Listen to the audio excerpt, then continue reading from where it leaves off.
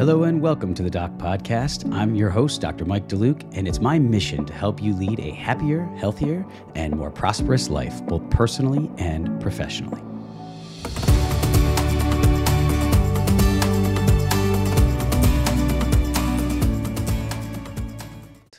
Today, I am joined by a true pioneer in the area of 3D imaging and dental sleep medicine, Dr. Bill Harrell. Dr. Harrell completed his orthodontic residency at the University of Pennsylvania School of Dental Medicine in 1977. He's an ABO certified orthodontist who is also certified in dental sleep medicine. Dr. Harrell practices in Alexander City and Auburn, Alabama, and also teaches part time in the orthodontic department at the University of Alabama, Birmingham. Dr. Harrell was the first orthodontic practice in the state of Alabama to have cone beam CT, and the first in the USA to combine both CBCT and 3D facial imaging way back almost 20 years ago in 2005. He serves on the American Dental Association's Children Airway Screener Task Force, CAST, which we'll talk more about in this episode.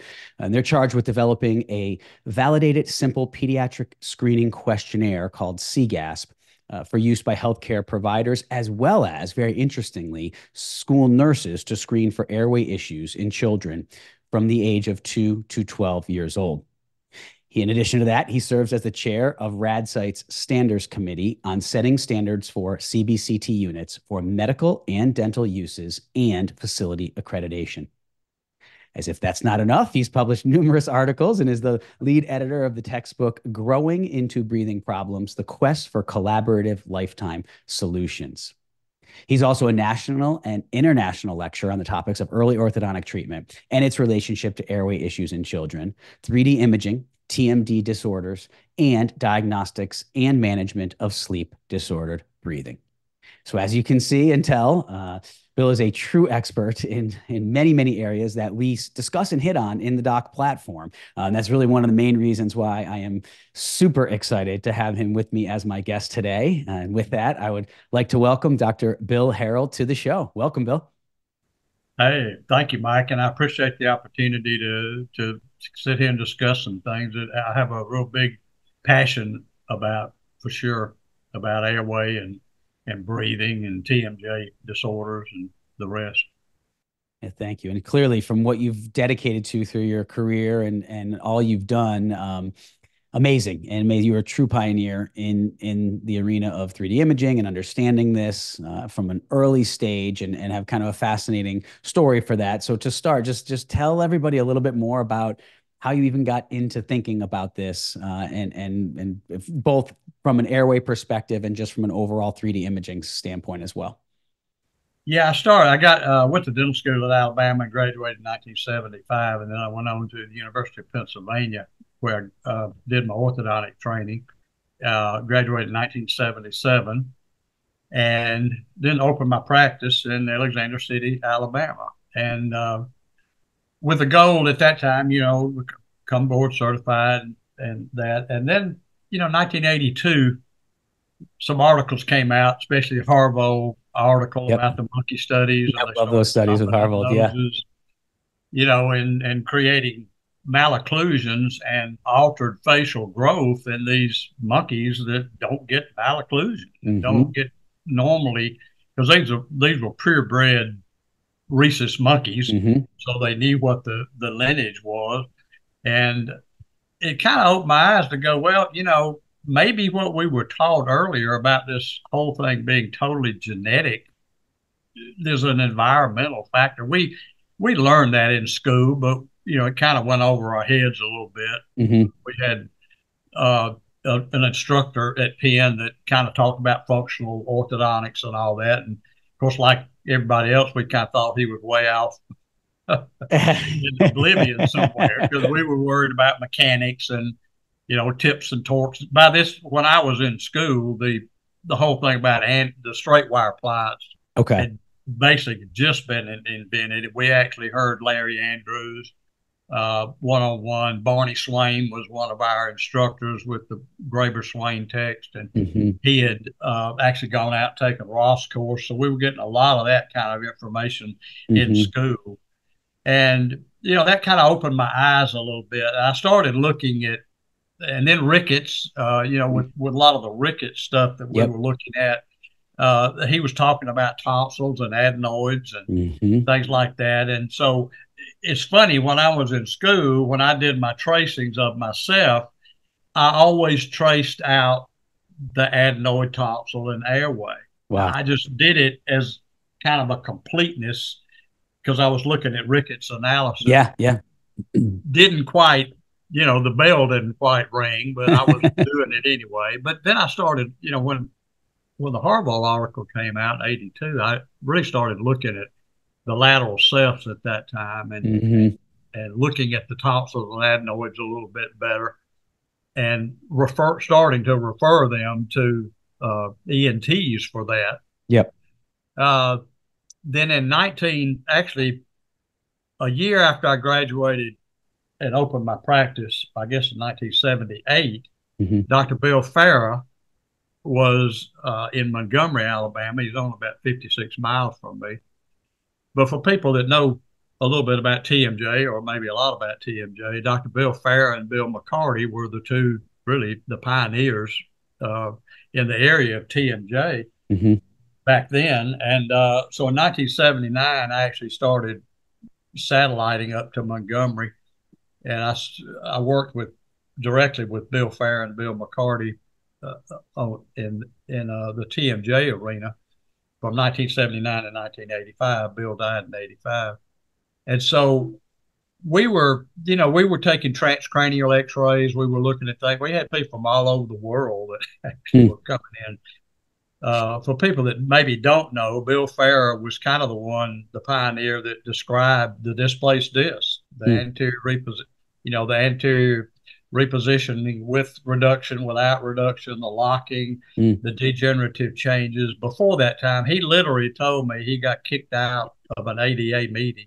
in the 60s, late 60s, literally by talking about what he was talking about. This an orthopedic problem, not a psychological problem. Wow. And he that said, was in the 60s, said, huh? literally got thrown out. My slides got thrown on the sidewalk, and they said, Redneck, don't come back. You know, go back to Alabama. Don't come back here. Wow. Well, it wasn't too many years later uh, that uh, they started doing fluoroscopic arthrography. Yeah. They injected the dye, did a fluoroscope, and lo and behold, behold. it is. yep. Popping in and out of place. So yep. then the whole thing switched, and you know he got his his due. And an interesting thing, I guess, really during that time is I was able to go in and scrub in on open joint surgeries. Oh, neat. Okay. And with Dr. McCarty because he was the one that actually did the uh, plication, you know, for the for the displaced disc. And mm-hmm you really don't get an understanding of the TM joint unless you're seeing, you know, live open joints. Now that mm-hmm. we're not doing it as much anymore because we're doing arthrography, but but through that, through the normative study group, which Bill Farrar and Bill McCarty started uh, back in the early days, we had a lot of doctors come through, and you know, a lot of research efforts were done in that respect. And so Bill got kind of got his, I get it, his due, I guess, at that time when a lot of that started. That it was really was an orthopedic problem. Degenerative changes started. Mm-hmm. was back in those days, you know, reciprocal clicks. Everybody kind of remembers Dr. Farrar. Uh, you know, we were, I would say we were chasing clicks, but when the displaced disc, when there was a certain place when the disc actually reduced, mm-hmm. people, a lot, a lot, of people know about the Farrar splint with the big mm-hmm. ramp on it, which yep. holds the jaw forward. Yep uh, and quote unquote, we're recapturing the disk. Now, one thing that the reason I kind of got involved with them, Dr. Farrar was real, uh, he was kind of upset with the orthodontist because he would send them to the orthodontist because now their jaw has been repositioned into a little bit different place and the teeth don't fit. Right. So right. either you got to do restorative dentistry or whatever. And so he liked the way, but when he'd send them to the orthodontist, what would happen? We'd take the splint out, put the braces on, start moving the teeth, and guess what? Everything fall apart yep. from the TMJ side. So he and I kind of figured out a way to keep the splint in place while we're moving teeth, which was challenging, but we'd cut the splint away and kind of do. I got to be good friends with Duane Grummons, mm-hmm. uh, at that time. He'd worked a lot with Ricketts, and Duane was kind of doing some similar things. We were tripoding the mandible, moving teeth, so he mm-hmm. and I kind of shared a lot of ideas. And uh, what we the weird the weird thing was that and Michael Gelb and I are good friends, and mm-hmm. I actually knew Harold Gelb way back in the old days. He was good friends with Bill Farrar because they kind of saw eye to eye about a lot of things. But uh, I've talked to Michael Gelb a number of times to say, you know, it's kind of crazy because we didn't know it back then, but we were probably treating airways mm. with the anterior repositioning yep. splint. You know, yep. we were opening up airways in addition to helping the TMJ. Yep. So that kind of came on the scene, and then probably on into the 90s, uh, Dr. David Hatcher, who's an oral maxillofacial radiologist, probably the world, he's the world expert in oral mm-hmm. radiology, started beam readers. But he and I got to be good friends, basically from the TMJ side. You okay. know, from that side, that's kind of how we started meeting each other. And, uh, you know, he was doing a lot with uh, the Quint Sectograph at that time. He had actually gone to Mobile, Alabama, to install a Quint Sectograph in the hospital, uh, and for them to start doing TMJ tomogram. And that's kind of where I met him, probably in the mid or the early 90s, I guess. Okay. David and I got to be good friends. And from that, I kind of got interested a little bit more in airway. With David, about 1996, David had gotten wind of Yvonne Deuce and the NewTom cone beam CT image. Mm-hmm. And so I think it was in Dallas at the AAO. Uh, we got a kind of a behind the scenes look, and this was 1996 mm. at the output from the NewTom. And of course, I think it was like, I don't know if it was 8 bit or something. I mean, it looked like scrambled eggs to me, mm-hmm. but David was real excited about it and looking at it, and then uh, so we we kind of got the the first look, and of course, in 2001, uh, the first one of the cone beams came over to the United States. Mm. Uh, Loma Linda, uh, Joe Caruso, they got the first one. David got it the next day and claims to be the first one to actually use it on patients. so, and I kept you know talking with him, and so I jumped in night in 2005. I told David, I said, you know, just kind of let me know when you think the time is right. Mm-hmm. And that was when uh, I had actually met when uh, ICAT, Imaging Sciences, actually met with uh, Predrag Sukovic, who had the, the software for mm-hmm. Cone Beam, and they met together and formed ICAT. Mm-hmm. And I was in the room when all that happened. So wow, I, I that's that fascinating around wow. there.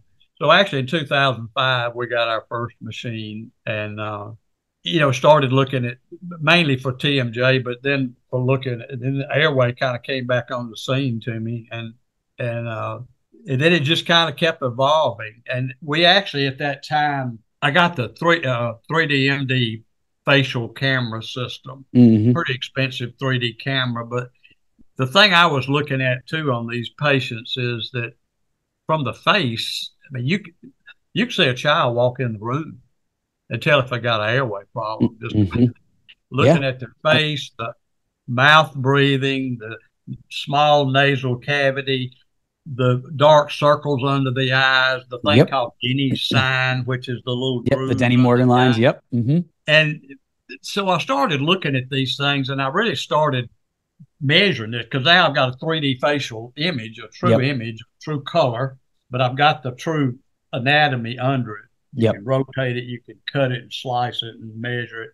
And so I started looking at these faces that we were doing, and I'd take a plane and I would cut like the face so I could see the outline on each okay. side of the face. Mm-hmm. And as I started doing that, I found almost 100% of the time the patient's left side of their face is flatter than the right hmm. in this region. Kind of in that malar area. people, it's almost. I don't know why. I don't. I still not exactly sure. People say, "Well, it's the way they lay, or maybe in the womb it's the way they laid, or maybe something that I don't know. There's a lot of different philosophies, but if you look at people, the left side's usually flatter. So then it kind of dawned on me, well, you know, that's where the sinuses are. mm-hmm. So as we started looking at it in cone beam, sure enough, a lot of times the left sinus may be smaller than the right, or mm. if you look down in certain, if you cut the face and cut the cone beam at the same place, you can actually see that the bones may be a little bit hmm. different. Mm. And so we started with the 3D MD software, we actually started uh, co registering the face to the cone beam. Mm. So what we would do is we would take the cone beam. It's got a cone beam skin. Mm-hmm. Okay, not real accurate, but it's it's there. Mm-hmm. And then what you can do is you can take that face because it's one to one, and then you co-register like right above the eyes, part of the bridge of the nose, maybe up under the eyes a little bit, not the mandible because it's going to be different, but mm-hmm. you can co-register this and it'll map basically one to one. Mm-hmm. So then now you've got the true face on top of the cone beam. Not a, I'm not a real big fan of taking the 2D photo mm-hmm. and stretching it over there. Right, right. That just makes it pretty. But you're taking a flat piece of saran wrap with a picture on it, and you're stretching it over this thing, and it gets all distorted. It, yeah. makes it look pretty, but it's not really accurate. But we started looking at that, getting more and more involved in it, and then I had met Dr. Steve Schindel, Schindel people call him Schindel, Dr. Steve Schindel. He was the chief of plastic surgery at Stanford. Hmm. And through David and some others, we met uh, Steve Schindel. And through Dr. Schindel, then I met Dr. Christian Guilleminault, mm-hmm.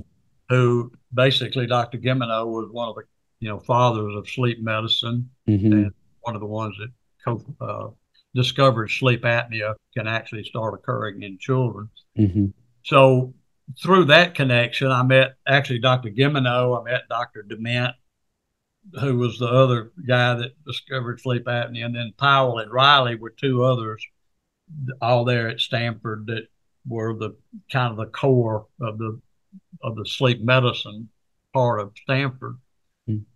And so, even though I not like Dr. Farrar, where I was actually in their office, Dr. Christian Guilleminault and I kind of got to be good friends and we communicated a lot. And he was real interested. He actually knew I was going to write this book, and I was my my goal was to try to get him to write a chapter or at least do a foreword, but we kind of didn't get didn't get far enough along with that. But anyway, you know, and so my I guess my passion started where I had an idea of okay, well, if we could if we could take this 3D camera and start really analyzing the face, mm-hmm. maybe through AI, uh, something like that, to look at these different parameters that relate to maybe airway issues on a child's face.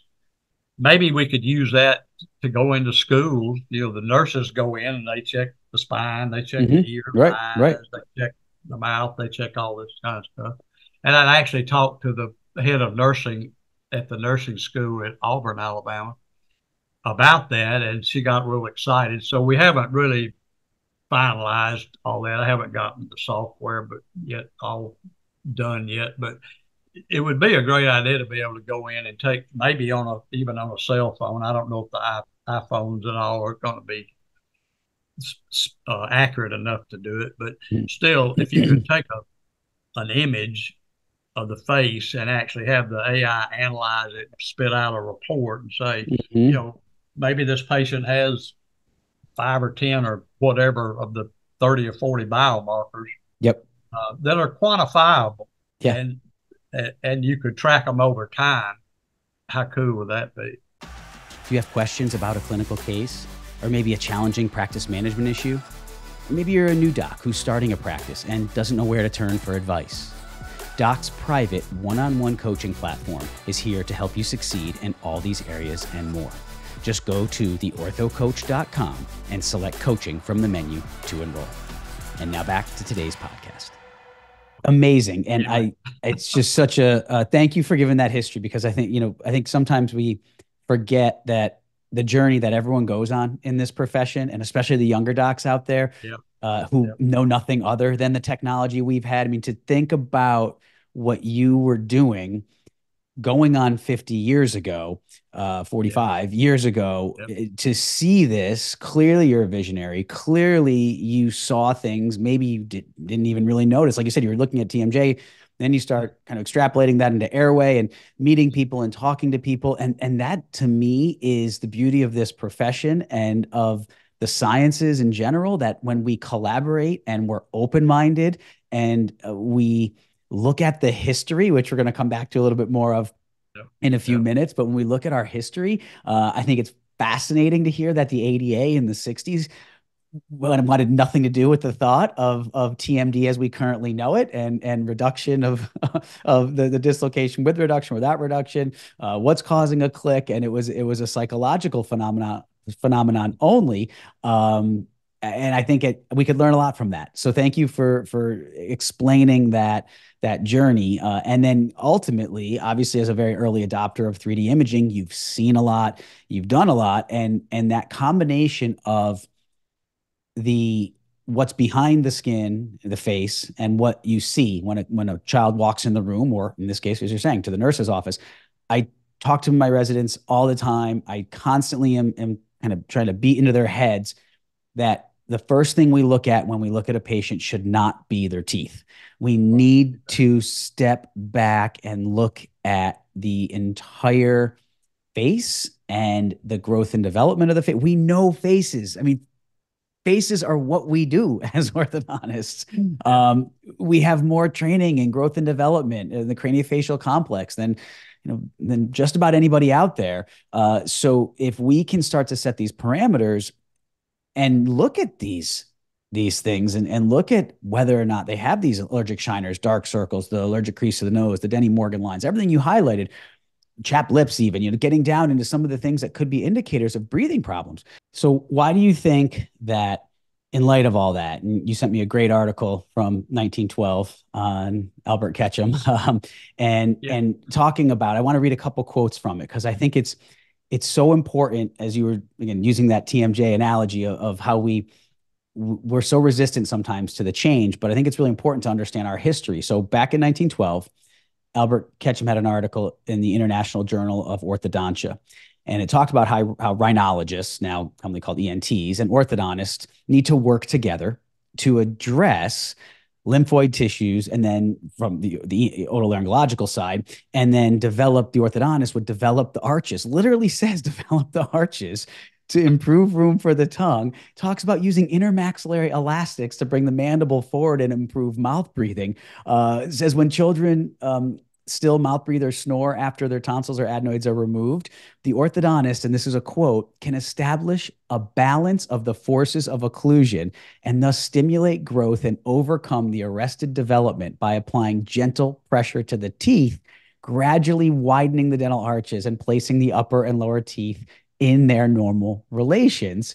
And then the last thing I mentioned said, um, a large number of cases has been cited where children with constricted nasal spaces have developed efficient breathing spaces as a result of stimulation through the work of the orthodontist and goes on to talk about angle and angle. So, I mean, this is, yep. we've known about this. This isn't a secret. And, and so I think it's so important as we go forward to say, okay, we know there are these issues. It's really not debatable, even though some do debate it, but it really, I, I think, is beyond debate at this point that um, the way we breathe affects the growth and development of the face, right? Whether it's Moss's functional matrix in the 60s and going into the Harvold studies you quoted throughout the 70s and to the early 80s.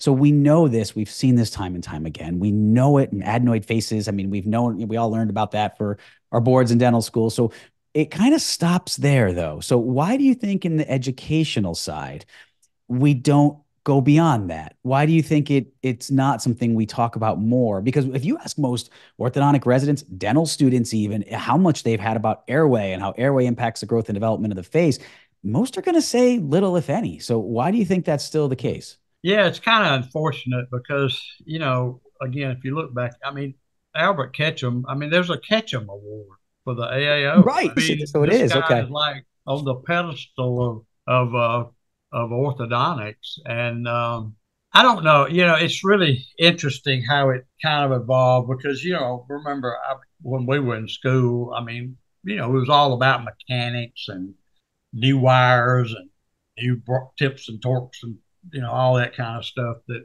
yep. that we got, you know, mechanical kind of things that we were looking at. And, you know, we were into aesthetics and facial beauty and which are all, which are all very important. Mm-hmm, sure. Part of what we do. But, uh, I don't, you know, I've thought about this too. Why, you know, because back a hundred years ago, I mean, I mean, Edward Angle talk, started talking about mouth breathing as being one of the most major factors of malocclusion. Yep, 1907. And, I I love that quote. Yes. Yeah, and and then kind of proven now, maybe not in humans, but in animals, but you can't do the animal studies anymore the problem is everybody wants where is the research? Where is the thing yeah. that answers the question? Yeah.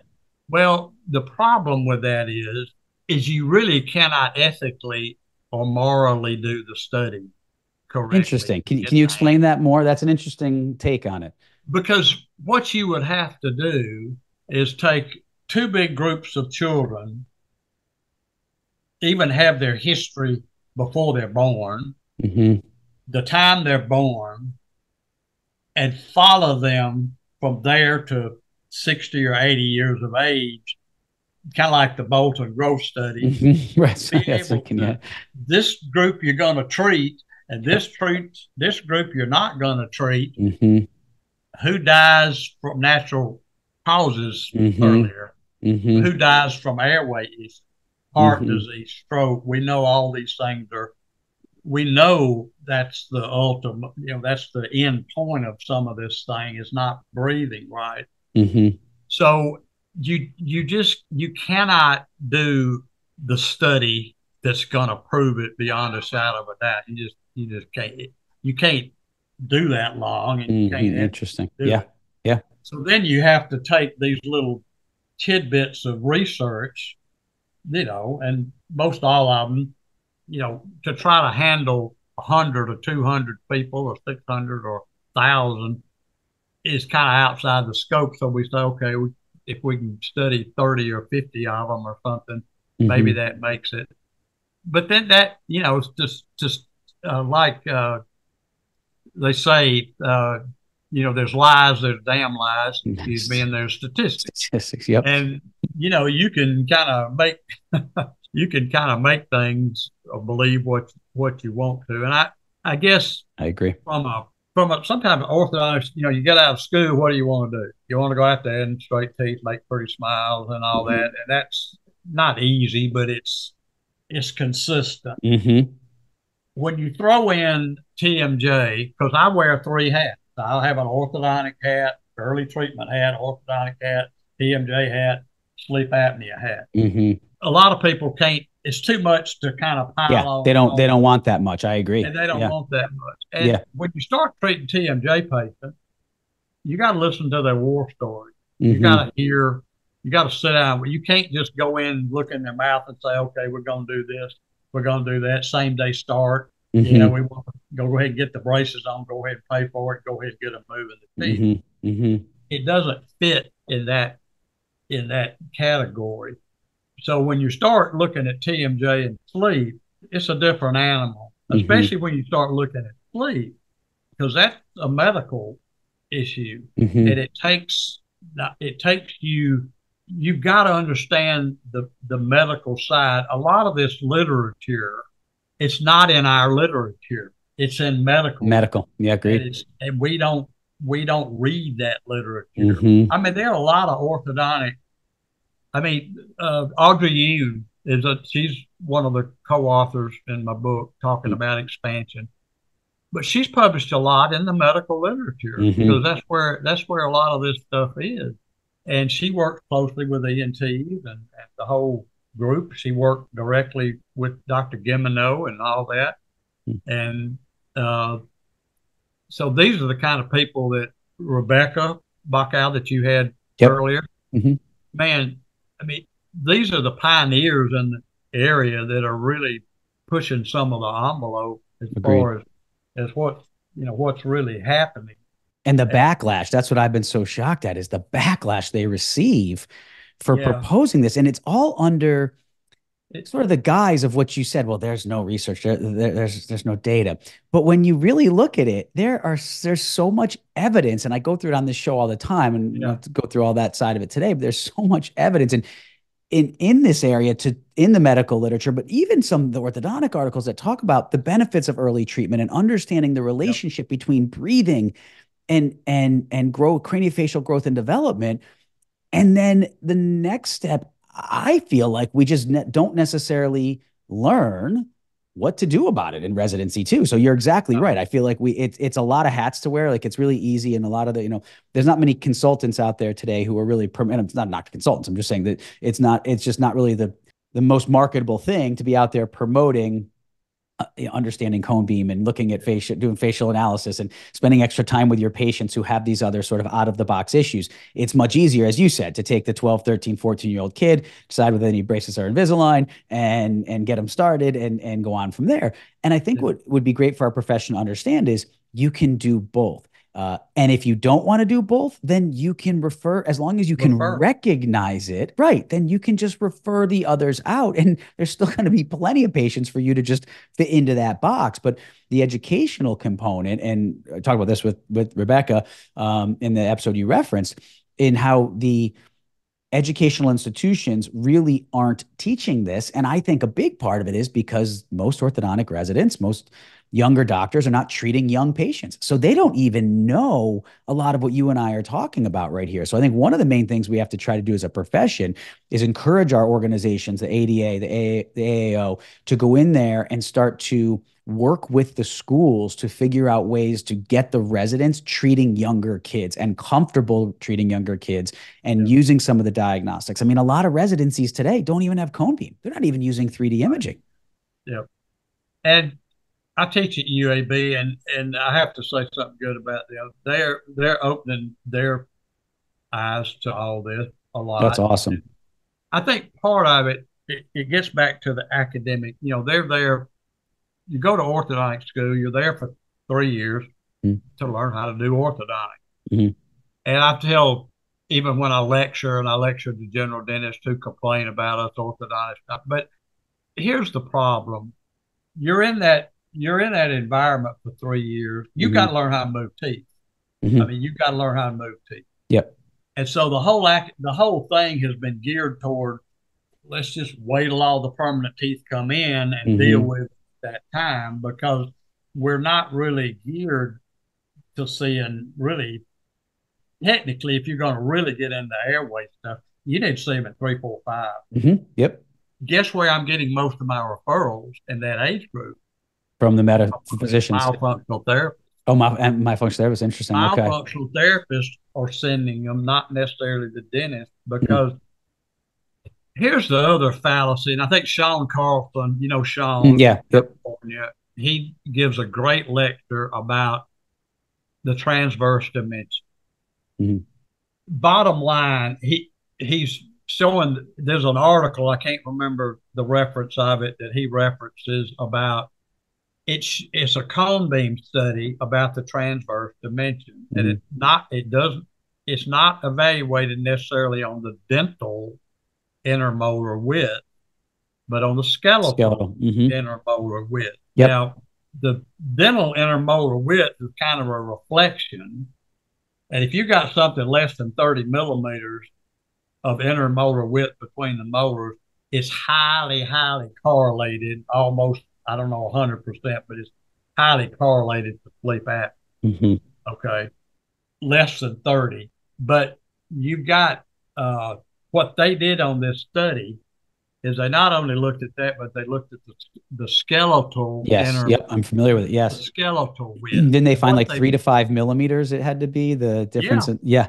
And what they found was it doesn't matter about a crossbite because that's what everybody looks at. Thank you. Yes. If a dental crossbite, then we're going to expand. Yep. If no dental crossbite, that's the thing that the, the, academics have looked at and said, yes. well, if there's no crossbite, there's no reason to expand. Yes. So, and there's a lot of the I mean, I'm an older guy. I'm back in the old days, but I've seen the vision of this thing grow. Mm-hmm. But if I kind of look back in my, if if I were to take myself out and twin myself and say, okay, I'm gonna only believe what I was taught in school, mm-hmm. then I would believe the same thing. Well, you can't expand once all the permanent teeth come in because they collapse, and then you can't expand if there's no crossbite. Right. Well, the the problem is is we're looking at a lateral ceph, a 2D lateral ceph, yep. and a 2D panoramic yep. X-ray. Yep. And we've got either digital or physical model. Yep. That's all we got.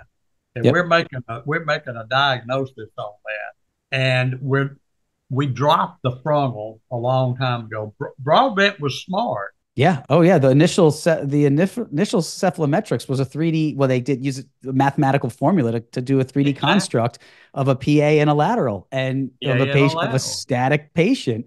Uh, and it was actually ironically market forces that caused that to go away because it wasn't practical to sell or to implement in your office. Yeah, because so, you had to have a you had to have their cephalostat, which were two ninety degree pictures taken yep. almost simultaneously. Yep.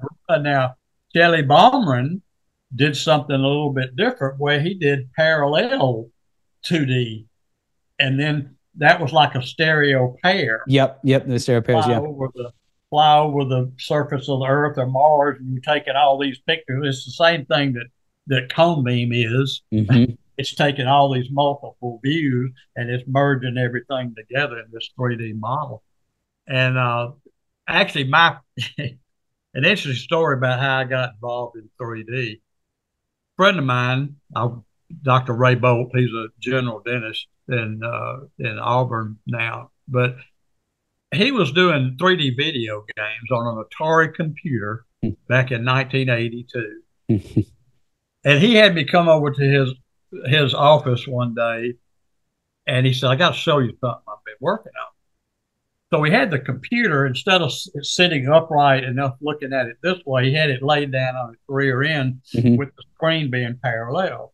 So he handed me these little tethered 3D glasses. They were not the red and blue anaglyph; they were the liquid crystal shutter glasses. Mm-hmm. And you put these things on, and literally he had people like R2D2 walking around the screen. Mm-hmm. And then all of a sudden he had the floor come up off the screen, the floor separated, and this little airplane started flying around the thing. And I'm going, I'm kind of looking at it, trying to grab a hold of it like a hologram. and it just dawned on me. I said, Ray, do you think we could make a skull out of that?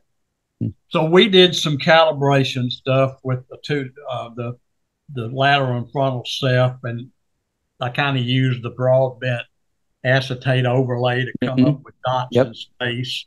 So we came up with orthographic landmark and we connected the dots mm-hmm. in a 3D stick figure thing and then projected it. And sure enough, here's the little thing. Wow. Looking around, and I mean, you can see depth perception because wow. now your each eye is looking at it.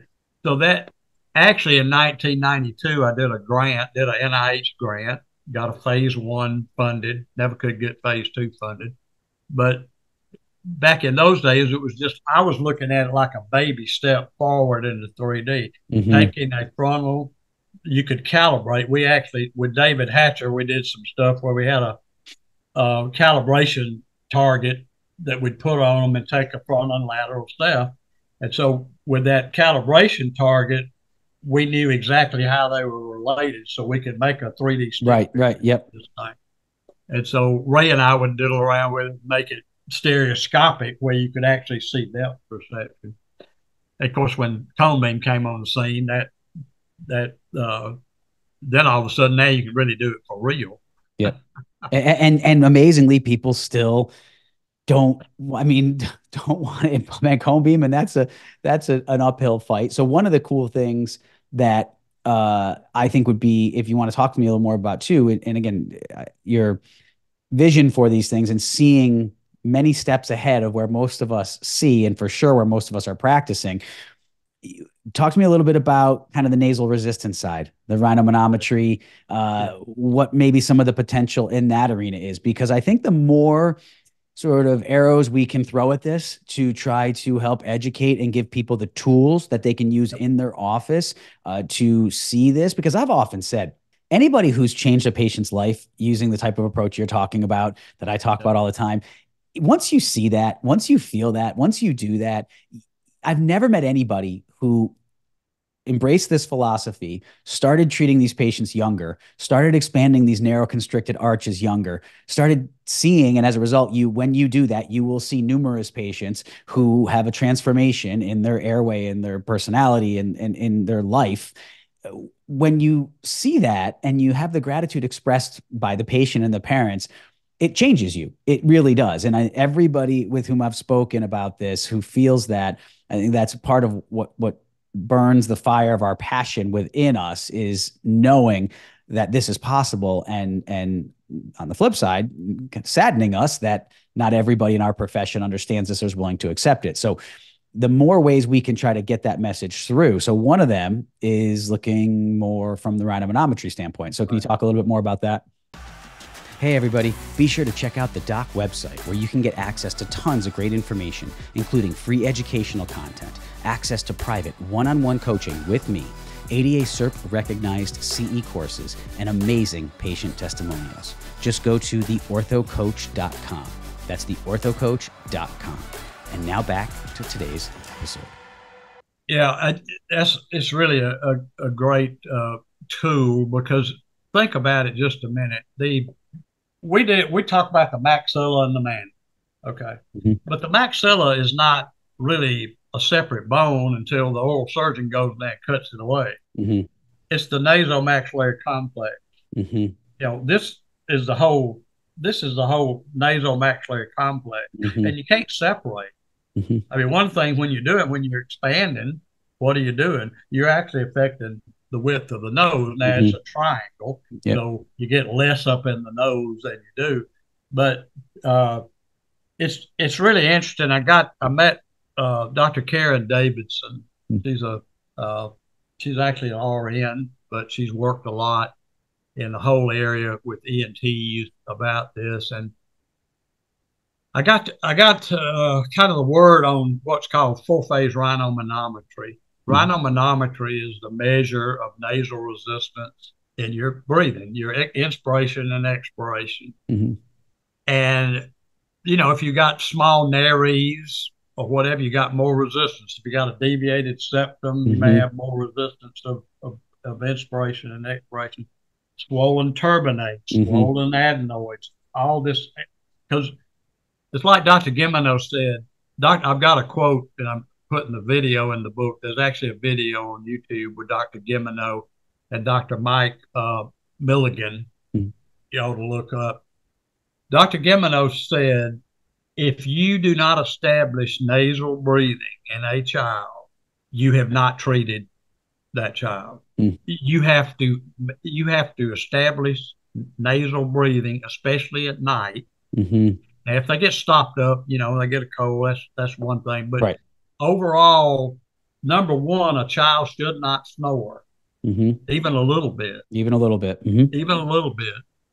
And they should be, babies are obligate nasal breathers. Yes. And they can feed and breathe at the same time. Right. And you say, how can they do that? Because the, the epiglottis and the back of the, and the soft palate actually almost meet each other. Mm-hmm so they can feed and they can breathe at mm-hmm. the same time. But when that starts to split off and come down, that's mm-hmm. what makes humans vulnerable to airway issues.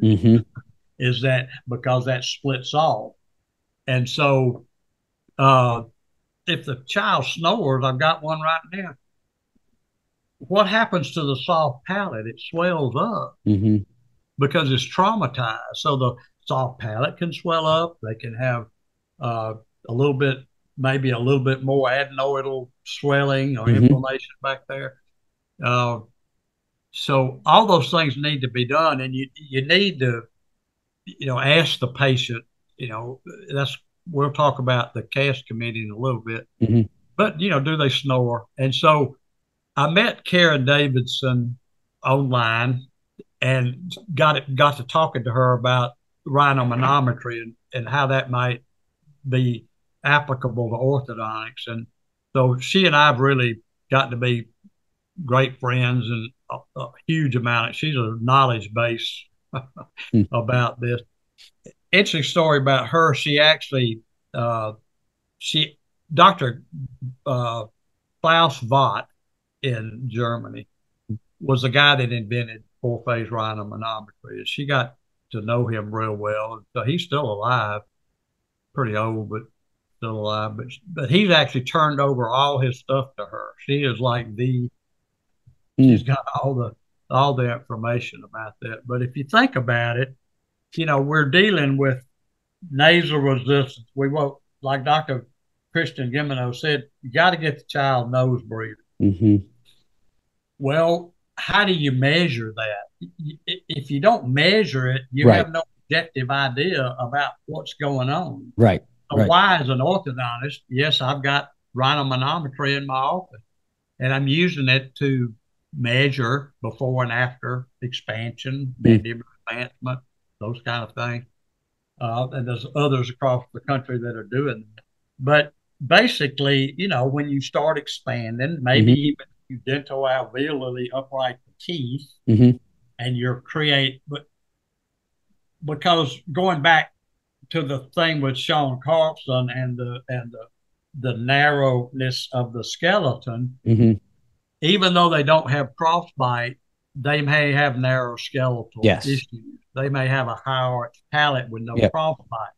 The the dental crossbite has nothing to do with the skeletal because they just got they got good dental compensation. Compensation. Yeah, I always say the patient who has a narrow maxilla and no posterior crossbite actually has a more severe malocclusion, even though we don't classify it as such in right. our nomenclature, but they have a more severe malocclusion than the patient with a bilateral, unilateral posterior crossbite and a yep. flat mandibular curve of Wilson and Absolutely. a broad mandibular arch. And that's not taught ever. I mean, we're taught all, I shouldn't say ever, but I've ever heard taught. It's almost right. always taught that it's blasphemous if you try to expand on a patient who's narrow and bo- uh, doesn't have a posterior crossbite. You, it's like you said, you just put blinders on with the whole transverse and say, oh, they don't have a posterior crossbite. Yep we don't look at this and yet and one thing i want to mention that um, I brought up on w- with Rebecca, and I received some some really great feedback from the audience on this, and uh, it's opened up some other doors of, of maybe trying to to to fight this a little bit. But uh, is part of the problem is that in our schools, uh, most of us, many of our institutions are, are treating a high percentage of their patients who are on state funding Medicaid. Uh, and we use this, the profession traditionally uses the Salzmann index to score these patients for, for coverage.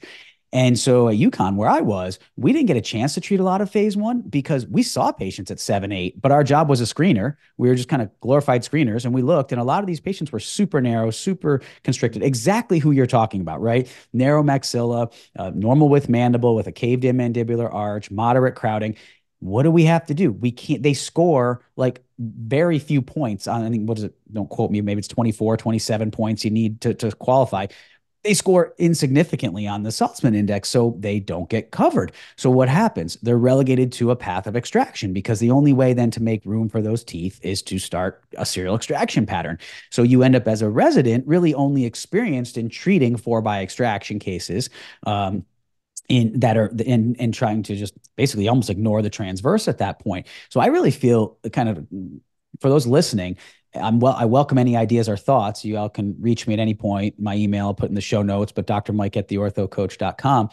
I think we need to start to work together to try to figure out a way to lobby our our through, through our organizations or directly through the, the politicians to start to get to the point where we look at this as a preventative proactive measure and stop excluding these patients from qualification for services who have uh, narrow arches but don't have a posterior crossbite because you could take that same patient that we were just talking about and give them a broad mandibular arch, right? And give them a unilateral posterior crossbite and boom, qualified, right? You can go ahead and expand that patient. But you cave their lower arch in and make their malocclusion more severe. And because the index doesn't score for that, pick it up. it doesn't pick it up. You end up leaving these patients. And so I think if we can help everybody understand, our physician colleagues too, and and really in the healthcare arena, we could save money for these patients and for the system and for everything else because if these patients aren't being treated pro- properly and ex- their arches expanded and their arches developed when they're young and making them nasal breathers,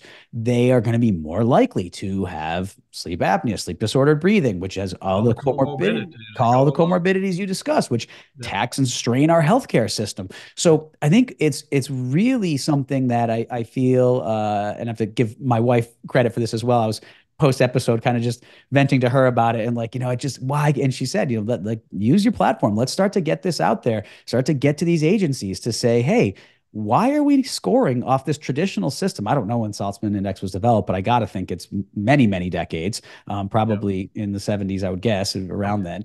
Uh, so if not prior, so we have this old school index. Why don't we adjust it and start to apply it? Because if the residents aren't treating these patients the way you're talking about and looking at these things, then I feel like there's a big deterrent to them to ever start to do it once they leave school and go to private practice. Yep. I think one thing too, you know, when we had when we have pa- patients that have crossbite, and you know, that those are some of the ones that you know it's maybe six, seven, eight that might come into the orthodontic clinic because they got a crossbite. Yeah, and that's kind of the ones that we're starting to see them a little bit earlier at UAB now. Thank good, and, and I think it's good. But we might see those and go, okay, let's uh let's expand. You know, maybe have a mandibular shift. Mm-hmm. So you put the RPE in or mm-hmm. whatever, mm-hmm. and you start expanding. And then where do you stop? Well, you stop when the lingual cusp of the upper mm-hmm. Get on top of the buccal cusp of the lower. Of the lower. Yep. And we stop there. And we go, okay, but we got very little. And then we look at the research and we measure, even doing cone beam studies, or we look at the nasal cavity and say, well, we got very little change in the nasal cavity. Maybe we didn't get any nasal resistance mm-hmm. in help at all. Mm-hmm. The problem is you haven't expanded them enough. Why? Mm-hmm because you haven't uprighted the lower. Right. You're limited by the lower arch. Have, yep. If you're going to expand the upper, you have got the, a lot of times what happens on the lower is there dental. There's a lot of dental alveolar collapse. Is yes. what we're talking about. Completely. Right. And if if the lower has dumped in and then the upper's dumped in, and there's no crossbite, the teeth are. That's why you have to look at a cone beam from yep. the funnel to evaluate what are the what are the teeth look at what's the bone width nasal width? Yep. And then that's where rhinomanometry comes in. There's three things with the nasal resistance. Number one is four phase rhinomanometry which measures you put a mask on you measure you have them breathe in and out of their nose naturally mm-hmm. and you see the inspiration expiration curves and okay. there's ways to know there's another one called acoustic rhinometry, mm-hmm. which uses an acoustic uh, sound like sonar. Okay. Just move sonar down the tube, and then it it will map out the uh, the structural part of it. Okay. Where might that obstruction be? And there's like a, a normal curve that it's supposed to follow. So either if you're above the curve, average or above acceptable. Mm-hmm. Acceptable. If it's below the curve, and where does it occur? Does it occur right at the entrance of the nares? Does it occur at the at the tip of the turbinate? Mm, right, so right. You can kind of get that. Then there's a third one called PNIF, peak nasal inspiratory flow meter. Okay. And it's a simple little device. It's got a face mask. It's got a tube and then beside the tube is a scale, and it's got a little round red wafer that fits inside this little uh, cylinder. Mm-hmm. And so you you take it, and up here is the mask. Uh, at the top is the mask. Okay and at the bottom is the bottom of the little tube. You you pop it down, and a magnet comes down and it hits that little red wafer, and it puts it all the way at the bottom. Okay. Then when you put it, but then when you turn it back over, the magnet goes to the top. The red wafer stays at the bottom. Okay. So then you put this thing on, and you inspire as quickly as you can. You go, and then that little red wafer will move up the up the thing. So okay. depending on age and sex and all that, there's no like magic number. Karen's got a uh, an actual uh, algorithm called Daffy okay. that you plug in the age, the sex, and some other things, and then you say it's PNIF at this age. Mm-hmm. It should be about here. Okay. She does the same thing for four phase rhinomanometry and all. So it's kind of based on the individual. Mm-hmm. It's not like a SNA should be 82 degrees. Right, right. It's not plus or minus something. It it varies in a lot of respects. Now, the other thing that's being pushed a lot is pharyngometry, acoustic mm-hmm. pharyngometry. People use that a lot to quote unquote figure out where to put the mandible of a patient that we're good, doing an oral appliance on. Mm-hmm. Here's the problem with that. And we're looking at the pharyngeal area in a cone beam too, right? Because mm-hmm. that's yep. where we measure out the airway. Yep. And we say, look how wonderful we did. And look how big we make pharyngeal airway. Mm-hmm. Here's the fallacy behind it. Karen and I co- kind of coined the term wine bottle theory. Hmm. You got a wine bottle here. You got a base that's really big. Mm-hmm. You got holds a lot of wine, mm-hmm. but then you got this little narrow top going up. Mm-hmm.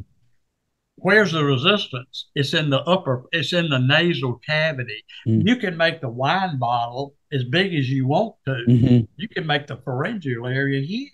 Yep. But they may still have a problem. They may still mouth breathe. Mm-hmm. Maybe you've made them a better mouth breather. right, right. You had nothing yeah. to get the nose. So you can't ignore. We as orthodontists, we can't ignore the nose. Mm-hmm. ENTs and orthodontists should be tied to, at the hip. Completely I mean, agree. Um, it changed the way I practice when I had the relationships with my ENT colleagues through my cleft yeah. facial team. It totally changed the way I look yeah. at the growing Something face. I'm trying yeah. to work at at UAB to get to get ENT and orthodontics together. I and, love that. learn each other's stuff because mm-hmm. we are it's so interrelated to each other. Mm-hmm. Yeah, it's it's. I think that's such a great point. And um, looking at it for you know as you're speaking, I'm thinking, oh my gosh, it makes so much sense. Understanding we we know the studies are there. I mean, we've yep. said Harvold many times, but the studies are there to show that if we're not breathing through our noses, our faces don't grow correctly. Uh, and then there's all sorts of other comorbidities involved in Gozal studies and getting into the the brain matter and and, and ADHD and all all the other comorbidities that that exist out there. So we know yeah, there's this. an interesting study. I've got it in my presentation where they did functional MRI a three Tesla, I think it was a three Tesla machine, a functional MRI on mouth breathers versus nose breathers. Mm-hmm. So the patient was their own control. Mm-hmm. So they had a mouth breathe for a while, they had a okay. nose breathe for a while. Okay.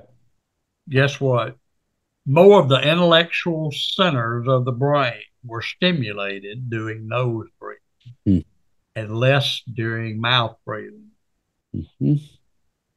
And if you look, there's actually a YouTube video too about a patient breathing and watching and functional MRI and watching the brain, watching the brain stem uh-huh. pumping up and down like this as you're breathing. And there's a difference when you mouth breathe, breathe. versus nose breathe. So, you know, we think we orthodontists are just trying to sit here dealing with pretty teeth and right. right we're dealing with some heavy duty stuff here, and we need to try to realize it, and we need to work with medical professionals. That's kind of why the book, I kind of wrote this book. I had an idea on it a long time ago, and it's kind of just it's coming to fruition now.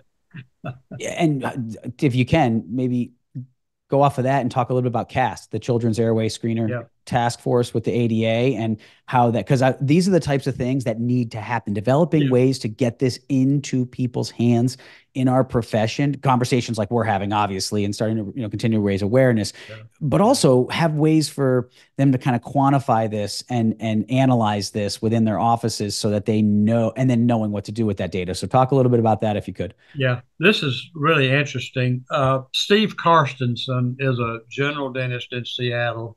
He practices strictly adult sleep apnea. Okay. That's all he does. He's on he's chairman of the pediatric sleep committee for the American Dental Association. Steve is uh, he's a board certified uh, dental sleep medicine through the uh, American Academy of Dental Sleep Medicine. And Jerry Simmons, who is one of my co-authors, both of these are co-authors in the book, but Jerry Simmons is triple board certified in neurology, epilepsy, and sleep medicine. Wow. He's an MD. Steve and Jerry went to the ADA, American Dental Association, a mm-hmm. while back, and were instrumental in forming this committee, this pediatric sleep committee for the ADA. Mm-hmm. So both of them, actually, Jerry as an MD is one of the co-chairs of this, which mm. is kind of unheard of mm, yeah. for an MD. That's great. So this whole thing, so I'm on this committee. It's called Children's Airway Screener Task Force. So what we've been, and a number of us are on there. There's a number. There's some myofunctional therapists on there. There's dentists. There's physicians. Uh, so what we wanted to do is come up. There's a lot of these sleep questionnaires, pediatric sleep questionnaire. Mm-hmm. 20 something questions. There's a lot of these things. We're real specific about things, which are great. But what we've been tasked with is look, can we come up with a simpler, maybe five questionnaire mm-hmm. that answers five simple questions that mm-hmm. the parent will answer from a child from two years to 12? We picked that category. Mm-hmm. questions like Does your child snore? Do they have restless sleep? Have you witnessed them gasp for breathing? We don't talk about ADHD, but we talk about behavioral issues or mm-hmm. how they do it well in school or blah, blah, blah. And so it's five simple questions yes, no, I don't know. Mm-hmm. So any yes answer basically elicits hey, this child needs to be evaluated by somebody. Okay. okay whoever you may refer them to. And it takes less than a minute for the parent to do this. And mm-hmm. we also part of that, Kevin Boyd, he's a pediatric mm-hmm. dentist. Yep. Chicago. I mean, he treats them the day they're born, yep. which is good. But I mean, I can't treat them quite as young as he does. But anyway, but we've also, as part of that, uh, that CAS committee, there's a thing called CGAS. That's actually the screening form, mm-hmm. Children's General Airway Screening Protocol. Is what that means. It's it's online, so dentists I would recommend, you know, orthodontists or people that deal with young children, especially pedodontists or whatever, deal from two to twelve. Maybe uh, we're looking for practices to because we're starting the pilot study right now. Okay. Could you give me a link to put in the show notes for people to click on to get I, more information on that? Yeah, I can. I give you. I, I'll give you Jerry Simmons' uh, contact information. Okay, perfect. So you can, because we're looking for these. What we're going to do. This is what we now we got. We we got to get the funding for this thing because ADA's put in some. We've got, actually gotten a, a few little funding things. But here's what we want to do have you heard about the Doc community on Facebook? It's where you can get access to more great content, including case reviews, select clips from CE courses and podcasts, literature reviews, and exclusive promotions and discounts off Doc educational materials. Just go to Facebook and search for the Doc community and submit a request to join the group. And now back to the podcast. We're going to take this five questionnaire screener and we want to validate. Mm-hmm. Now, how do we validate? Now, part of the screener, you check off the parent checks off the question, mm-hmm. but we want any, we want all children, not just the ones you think have sleep issues. Got it. We, mm-hmm. we want people in the study that check all no. Yeah. Yep. Be basically part of the medical history that they're filling out. Yep. Mm-hmm. Part of that online thing, the dentist or the hygienist will fill out. Is this primary, mixed, or permanent dentition? Mm-hmm. What's the classification? Is, mm-hmm. In the primary dentition and the permanent dentition, what's the classification? Uh, is there slight amount? Is there even slight amount of crowding of the lower teeth? Mm-hmm. mm-hmm. Okay. What's the intermolar width? Mm-hmm. Intercanine width, intermolar width, and primary dentition, mixed dentition, or permanent. Mm-hmm. What's the intermolar? What's their facial pattern? Is it short, normal, long facial patterns? Mm-hmm. Real simple. Takes two minutes. Just click on the you know, do they have a deep bite? Do they have a moderate deep bite, or is it over overjet overbite? No. Okay. So you kind of do all those few little things. Try to keep it as simple as possible. Now, what we want to do is do that on every child, and then come in. Jerry Simmons has. Are you familiar with the sleep image ring? This is an Oura ring, yep. but there's one called Sleep Image. Yep. That's out there. Jerry has taken that and with some manipulation of the software and the algorithm, he can bring out more information out of that range cardiopulmonary coupling, heart mm. rate variability, and some other stuff that maybe it could possibly take the place of polysomnography mm. because it's coming out with more, now not getting all the brain But then what we want to do is do that on these children but also do pediatric polysomnography on mm-hmm. mm-hmm. So we want to get the total range of this. And what we want to do throughout the country, get maybe six or 800 or a 1,000 kids that we could do. Yep. Fill out the form, fill out the dental information, get the sleep image data, get the polysomnography data. Now we can relate that uh, that five questionnaire yep. to the ring, to the polysomnography, relate the what the sleep image ring says to the polysomnography. Yep. How well does that correlate? Can you could you see a child? They check off yes, you give them the sleep image ring, go home and sleep in it for three nights and come up with some information. Mm-hmm. David Gozal, who is the uh, chairman, I mean, he is the dean of the medical school at Marshall University. He is now the most prolific author in the world on sleep apnea after mm-hmm. Dr. Guilleminault died. He's one of the co-editors of my book. mm-hmm. Okay. So he's working on urine-based biomarkers. Mm. There's certain there's certain things that are secreted in the urine of blood and urine of, of people that have sleep apnea. Mm. So there's a lot of things going on out there that could make it a lot easier because number one, it's hard to get polysomnography on kids, and yes. most most sleep clinics don't do children. Right. They're not geared to do it. Right. And they're not looking at RERAs and mo- motion and, right. and, mobility. They're literally just looking at an AHI index. Which, AHI. Yes. And yeah. most of the children have upper airway resistance. Yep. Which doesn't show up. Exactly. Or some form of sleep disorder breathing on the scale, which again is not going to show up for that. Is doing to pick. He uses what's called PES. He runs a, a sensor down the nose at the level of the heart, down the esophagus. Esophageal okay. manometry is what it is. Okay. So it's measuring pressure. So he can pick up upper airway resistance, mm.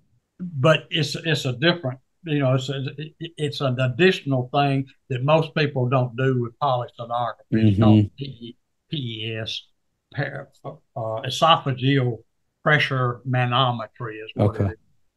And, but that correlates to four phase rhinomanometry. Mm.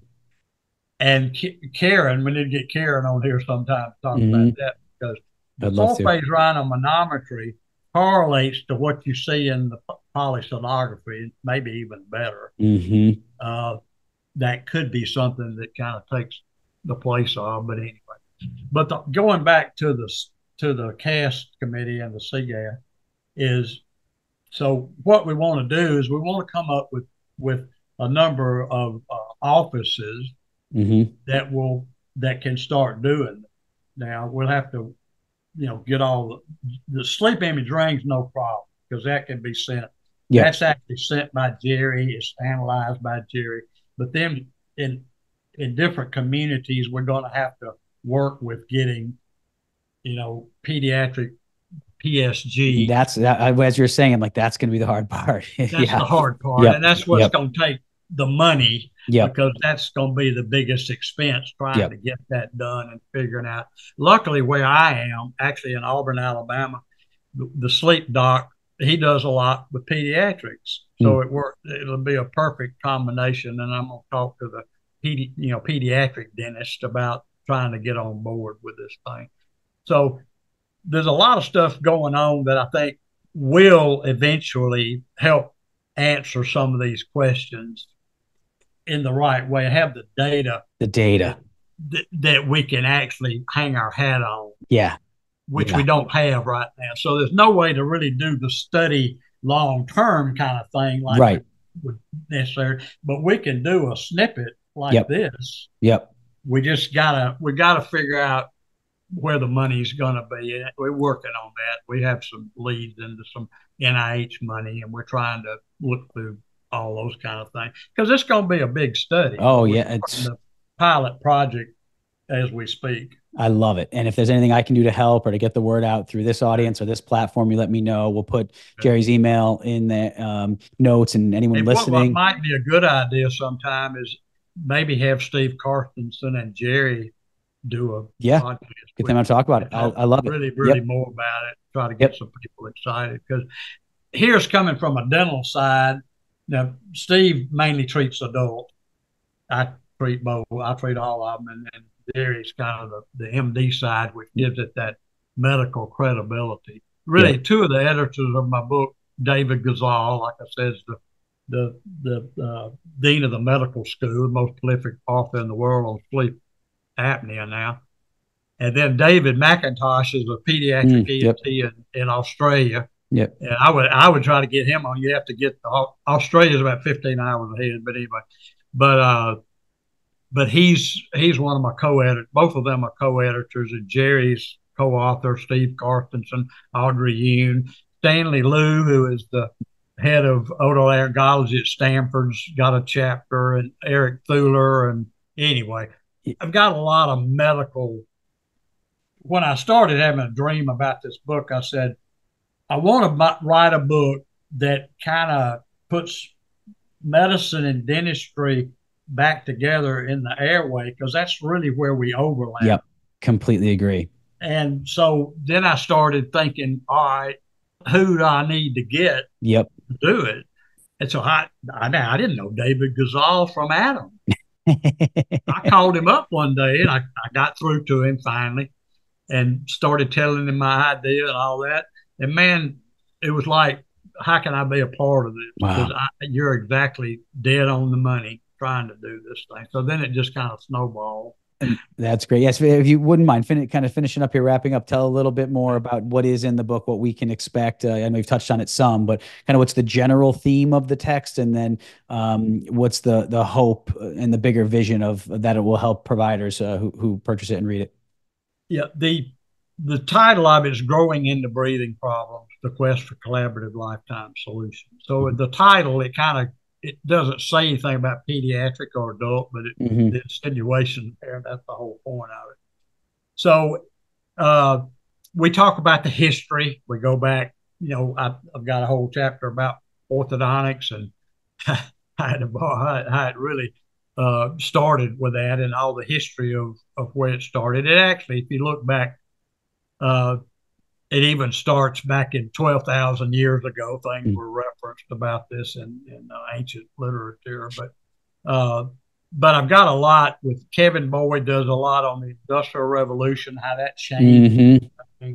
The diet, us, you know, the allergies, the allergens, and all this stuff that started. You know, wh- where is the genesis of this? Where, yes. When did it start? I mean, just a few hundred years ago. You don't have to go back millions. No, but if you look at the yeah, if you look at the skulls and, and Kevin Boyd and Marianna Evans yep. actually went, you know, did a lot of study at the University of Pennsylvania. But if you look at those old skulls, I mean, they got big, you know, they got big air. Now you have to extrapolate and say, well, that, yeah, they probably could breathe better, mm. you know, obviously, but still things were different. Yep. They had no malocclusion. No. To speak of. Nope. Ang- so, Angle's old glory, right? The uh... Angle's old glory skull. so Kevin, Kevin and John Hayes have got that, and then we've got myofunctional therapist uh, Sharon Moore from Australia, Nick, uh, Nicole Goldfarb, mm. and some others, and Duane Grummons is doing a whole chapter on reverse face mask mm-hmm. and TMJ. Uh, Jean Marc Retrouvey, we've got a whole chapter on artificial intelligence and orthodontics and how that may relate. And then we got a lot on surgical stuff, uh, the surgical MMA surgery. We've got early, you know, like uh, early surgery. Audrey Yoon, Stanley Liu talk about surgery 1st mm-hmm. Eric Thaler talks about uh, surgery for the transverse. Uh, Reza Movahed talks about total joint replacement, mm-hmm. how that affects uh, sleep and all. So we and we've got actually a chapter on insurance, mm. and I got another chapter on from uh, Ken Berley, who's a uh, he's a general dentist that does sleep, and he's also a lawyer. Okay. He and Steve Carstensen wrote a book together. Okay. About dental sleep medicine, but he he talks about risk management, the law, okay. the you know, the, great, the legal part of it. So we got a lot of different chapters in there about a lot of different things. It's supposed to come out probably the end of this year. It's going to be published by Springer. Okay. In late 2004. We're, they're in the process now of editing it, so we're in the editing process as we speak.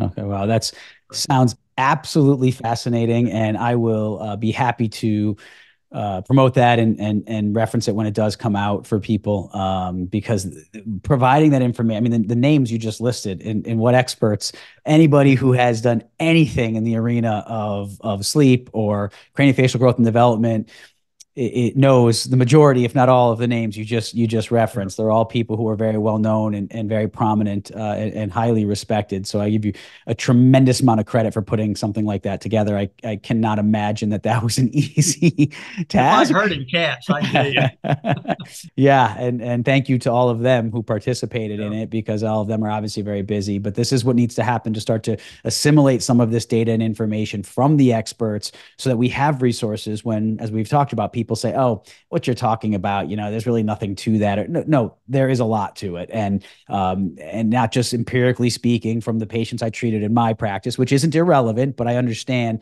doesn't necessarily have the same impact or effect as, hey, look, this is what a series of experts across almost every medical and dental discipline have to say uh, any anything that touches the sleep arena have, have to say on this. Um, and i think that's just going to be a huge contribution to the profession and to to to these patients. That's the thing is at the end of this discussion uh, that we all have there's a patient there. And and, and that's, the part, right. I mean it, we can argue we can debate on the way you do it and which appliance you use or you know what age within a certain year.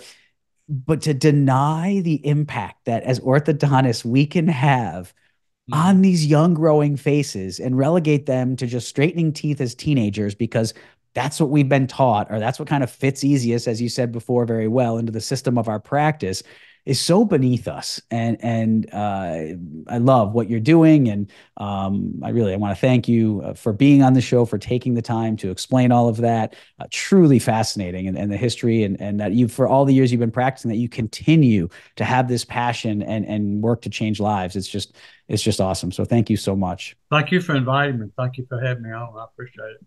Yeah. Uh, my absolutely my pleasure. I really really enjoyed it. So dr bill harrell thank you so thank much. you. Thank you, Mike. Take care. Have a great day. Bye-bye. You too. Thank you. Thank you for watching this episode of the Doc Podcast. Be sure to visit theorthocoach.com to get access to ADA CERP recognized CE courses or to schedule a private one on one coaching session with me. And remember to join the Doc community on Facebook for more great content designed to help you succeed both personally and professionally. Just go to Facebook, search for the Doc community, and request admission into the group. You can also find Doc on Instagram at, at the Ortho Coach.